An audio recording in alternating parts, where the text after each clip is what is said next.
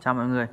Hôm nay mình lại dọn xong con máy vào cuốn mặt 350 hai dao motor 1,5 kg Con máy này được sản xuất năm 2005 Máy đời cũng rất là cao.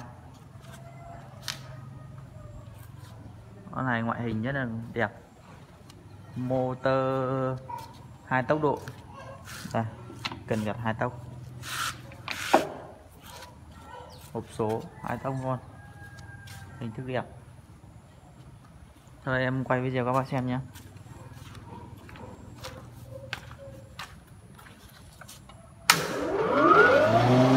chạy rất là êm luôn.